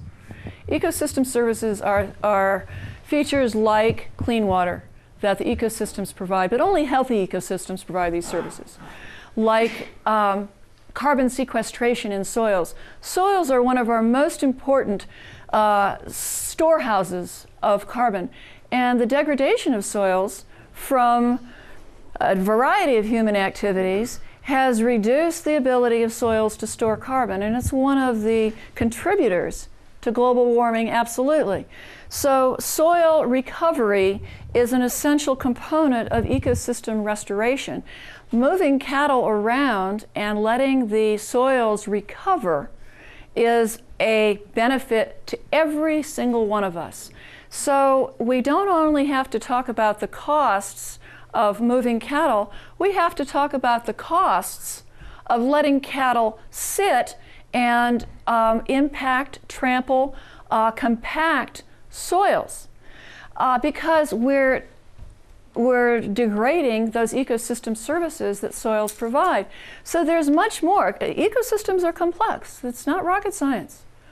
Um, and so we need to look at all of these factors. I don't, I don't doubt it is absolutely true. It's the reason that elk move because wolves are around, and in that movement, uh, you get elves out, el- elves, elk out of the riparian habitat, and the riparian ha- habitat recovers, and those streams can start to function again. Um, similarly, with with cattle and with sheep. Um, you need they need to move and yes they get stressed and yes they're going to lose a little weight and yes, that probably needs to be considered in this model of coexistence so that we can live together. Um, it's not something that, that, uh, that we want to ignore. And that's why, that's exactly why this conversation is important. It just doesn't, I mean, just the, the cattle producers that are here, you're, you know, you're looking at two hundred, two hundred and fifty thousand dollars. And that's a very, very small compared to all of even Garfield, Pitkin County. That I mean, I'm sure it's well. Let me let me throw out an let me throw out another number to you. Uh, the BLM and the Forest Service uh, in 2014 took in 12 million dollars in ranching fees from ranchers in the West. They paid out 128 million in administrative fees. It cost the Forest Service and the BLM tax dollars 128 million dollars to um, to administer those grazing allotments. They only took in $12 million. Pardon me? Okay, let's take a question from Jim. How much methane is created by wolves? um, you know what, Jim? I don't know. I just don't. Yes, back here. Yeah, um, you touched on wolverines real quickly. Uh-huh. I was just curious because back in uh, 2010, after CPW announced their Lynx recovery program was a Mhm. success, um, they started discussing and having a lot of stakeholder meetings about reintroducing the Wolverine. Uh-huh. And uh, all the shareholders said they were for it. Mm-hmm. Um, ski, uh, ski industries, ranchers alike, they all agreed with CPW. It could be done if Mhm. done properly. Mhm. Um, and uh, CPW said they would be willing to do it if feds backed them up, and the feds said they'd be willing to do it. And um, now, after hearing your talk about how critical wolves are to carrion sources, I Mhm. was curious about your opinion. Do you think wolves are a critical part of the ecosystem to allow wolverines to survive in stable populations? So, you know the answer to that question. I do. Well, okay. So do you think wolves? but do you think wolves are a critical part? Because I mean, speaking honestly, I think a reintroduction of wolverines is probably going to happen before a reintroduction of wolves, just because of the political um, everything that goes along with it. Do you think a wolverine re- reintroduction is doomed to fail without a established wolf population? Well, let's think about the cascades of effects and the importance of wolves in the ecosystem and what they do to provide um, biological diversity. And part of that biological diversity is the scavenger guild. And in that guild, the scavengers are depending on carrion. And the biggest, uh, most important, and we are getting shorter winters as well as everyone else, um, that carrion source is lessening. So I believe, yes, that wolves are essential. And if we think about also, uh, think about the idea of the coyotes competing with lynx. And yes, lynx, the reintroduction has been moderately successful. Um, you know, it, it, it depends on who you're asking. But if we had less coyotes, I think the lynx reintroduction and their sustainability and their population reproduction would be even more, m- more successful. So is a, are the coyotes not filling the niche enough? Uh, The coyotes are competing with uh, lynx for prey. Yeah, um, with the Wolverines specifically. Oh, coyotes are not, coyotes are not going to take down elk. Right. I mean, they, yes, I mean, you know, not, you never say never, but certainly they may at some point take down an elk occasionally. But they're going to predate mule deer, which they're going, there's not going to be much carrion left. They're not going to do the job that a wolf can do. They are not apex and they're not keystone, absolutely. Uh, over here. What is so different between the wolf and the, the coyote that wolves were, it was possible to absolutely eliminate them from the west? And there's probably a coyote out there looking through the window at us right now. No doubt. I mean, what, I mean, the same tactics are used and everything. How come one was eliminated and one is thriving? I think a lot of it has to do with their family structure. Um, and they're, you know, up in, for instance, up in Denali, um, right outside of Denali National Park, and this occurs right now, and so I can speak to it in the present rather than, you know, 100 years ago. In Denali, um, you can't uh, kill wolves in the park, but right at the other, right outside of the park, you can set traps and you can you can shoot and you can kill. And what their main method of killing wolves up there is to set traps. And so um, Gordon Haber speaks to this. Uh, he died about eight years or so ago, but he was the wolf biologist in the park for 30 or so years. And what he speaks to is the traps that the, um, the, the, the hunters set outside, the trappers, whatever. And a young wolf will often get caught in those traps. And the older wolves will come to try to save, save it and rescue it. And there'll have be a whole slew of traps set around. And so when the older wolves come in to try to rescue, they get trapped as well. And then when the female or the male or the, the mate comes in to try to, you know, she's upset or he's upset if his mate got, they'll sit there and they'll, they'll, they'll mourn and they'll stay there. And they're bait for the, the hunters that come back and get them. So this tight, cohesive, I'm, I'm kind of thinking out loud here, this tight, cohesive family unit and the desire uh, and the, the, the desire to stay together and their fidelity to each other has been um, clearly their downfall. One reason, I'm sure there's more. Yes, sir. Um, one slide that I kind of expected to see and was surprised I didn't was after the slide where you showed the 16,000 or 17,000 deaths to coyotes, Mm. the different predators. Mhm. Um, why there wasn't a projection of savings to ranchers with a 40% reduction in coyotes like Yellowstone or, or, or some sort of study like that because it, it seems like your argument is we add wolves, we reduce coyotes and all of the subsequent harm and uh, and I just thought it'd be interesting to see a number like a projected savings to ranchers from coyote population reduction. Or, or I don't think anyone's done it. I, I, I've read We quite a. have predation on cattle. For sheep, they're, but- they're, but- they're a right. benefit to us. Right, They eat so- a lot of mice. So the, I don't think anybody has actually looked at that. I, I don't know of it anyway. Last question is going to be this lady with this beautiful cowboy hat right down here. No, I don't think that's fair, man. You've got a lot of people back here that wants to talk as opposed to this. Okay. And we've heard most of the night the pros of it. So let three or four of us back here talk about why we feel that the, co- the wolves can't be here. And Maybe you can talk to know. him after. We're all sitting here trying to raise our hand, you just keep looking down there. Um, let me ha- I'd be happy for everybody to stay around to discuss, but I'm going to have Sheila here give the last question. And if you would want to stay around to discuss afterwards, that's great. But We want these guys to hear our side of it. That's why we drove 60 miles on slick roads, so everybody here that's pro for these wolves, listen to the rancher why we don't want them wolves.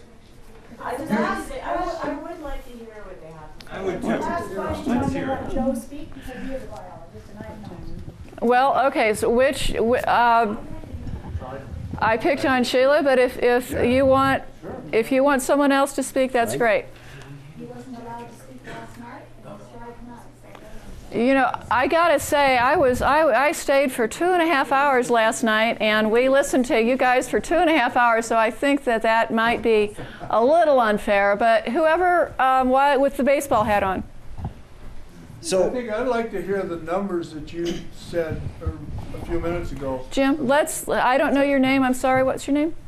Uh, my name's Joe. Joe, and uh, yeah, I have both sides of the perspective. I did graduate with a wildlife biology degree and a rangeland biolo- rangeland ecology degree. I'm also the son of a cattle rancher. I live in it. I'm also a land manager for the U.S. Forest Service.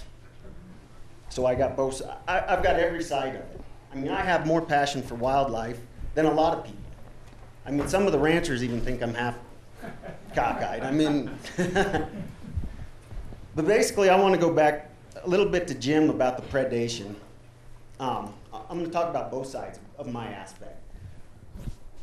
It ain't the money that they got out there for us. And this comes from Frank Daly, he's another rancher.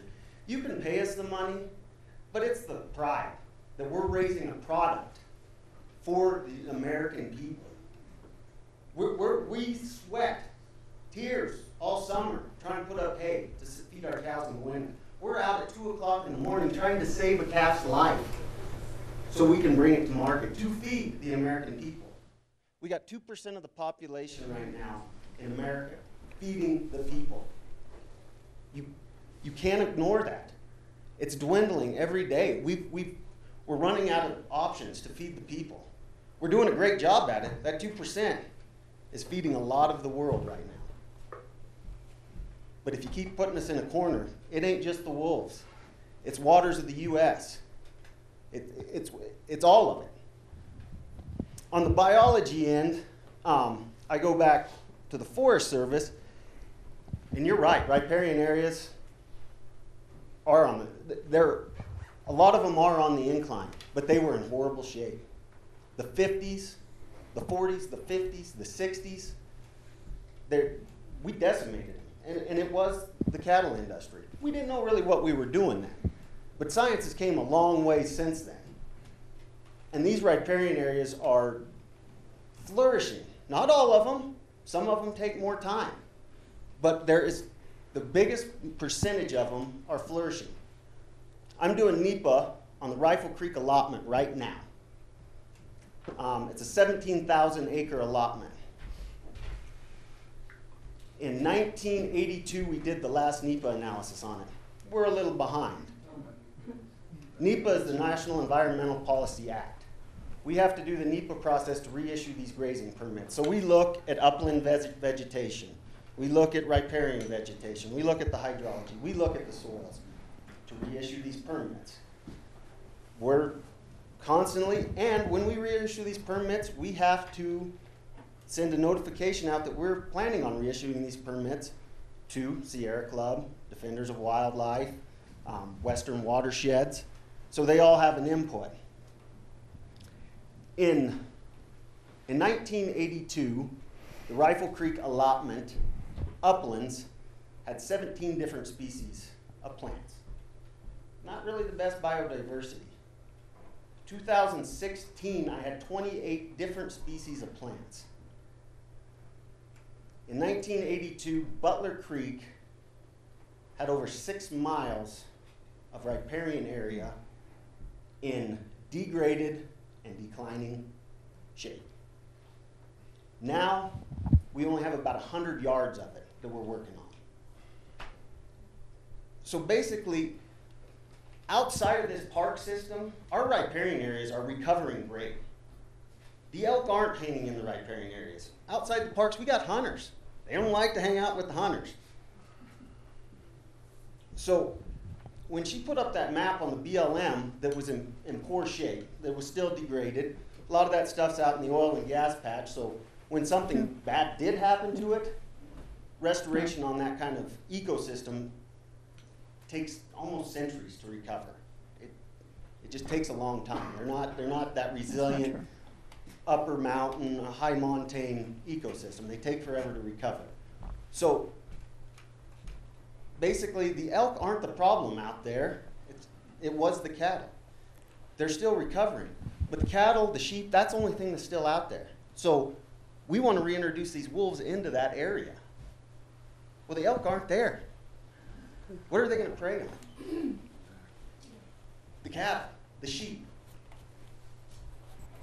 I studied at uh, Teton Science School back in 2005, 2006, right after the reintroduction of wolves, 10 years after. And we were seeing an 80% mortality in antelope fawns. I'm not going to blame that all on the wolves. That's not fair. Just like you can't blame degraded, degraded riparian areas on the elk. You can't blame that all on them. You can't blame it all on the cat. You can't blame it all on the sheep. But when you add another apex predator, it ain't gonna make sense. We've got one outside of the park, and he's doing a great job. We just need time.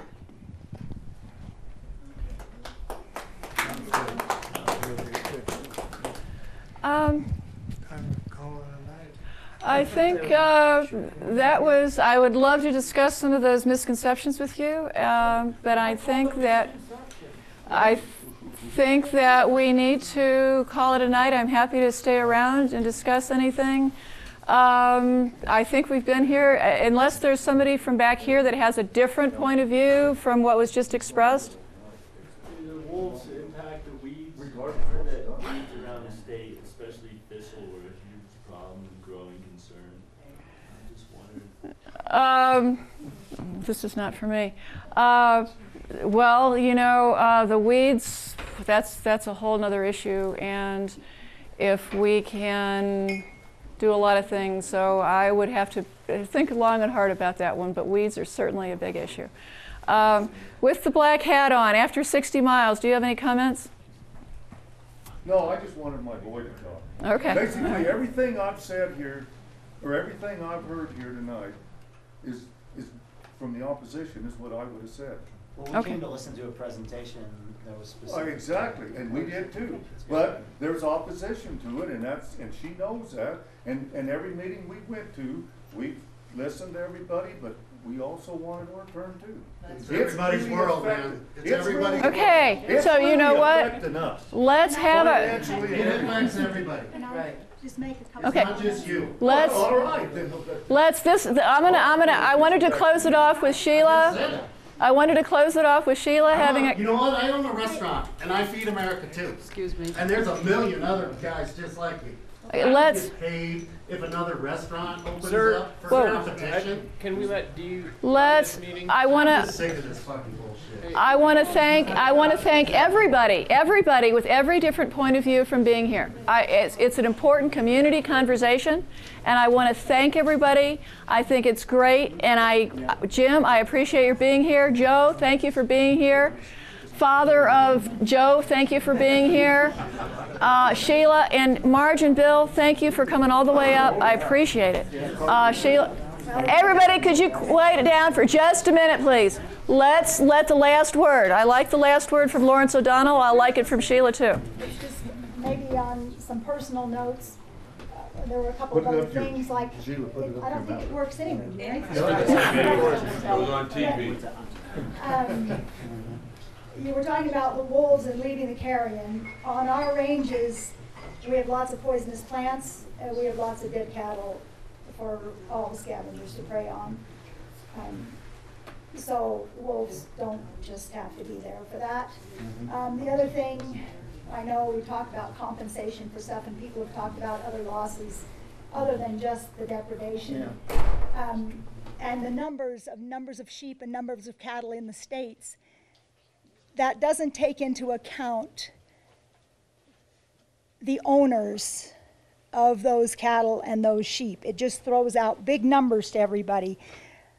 Ranchers, especially generations of ranchers, have spent generations and decades improving their herds and their flocks, improving the genetics, improving the meat quality or the wool quality or both. Um, they're not just cattle and sheep to us. We spend our lives with them, middle of the night, middle of the snowstorm especially. I ride all summer, but I also ride all winter with a flashlight in a snowstorm, trying to save a calf. Um, everybody else does the same. We are doing things We move our cattle. They do not sit in one place. Our range now is fenced into seven, eight pastures. They are moved systematically. There is a time limit, but if they need to be moved sooner or later, depending on rainfall, depending on the seasons, the seasons don't come the same every year. Sometimes you're two weeks or three weeks ahead of time. Sometimes you're a couple of weeks behind. The plants bloom differently according to that. We move the cattle according to that differently. We use different strategies when you talked last night about keeping cattle or the sheep longer in confinement before turning them out. It does create problems. Confinement means disease. It also means that someone has to feed them. Where does the feed come from? Typically, we use up our hay supply in the winter, move the cattle to the forest, raise the hay for them that summer, and start feeding again. We run out of hay. There's not grass at home. So the, all the coexistence strategies sound so easy and simple on paper, and they're not. And like you said, not everyone works everywhere. We tried fencing riparian area on the Book Cliffs, on the BLM, with the BLM, with electric fence. The deer and the elk took it out, not the cattle. The cattle were trained to electric fence. Deer and elk are not. Not for a while. They do become trained to it eventually. But we were putting it up three and four times a day and couldn't keep up with it, and the BLM gave it up. Um, it was the elk and the, and the deer. We moved the cattle out of the area. So it's just not as simple as you might think. Um, I guess that's it.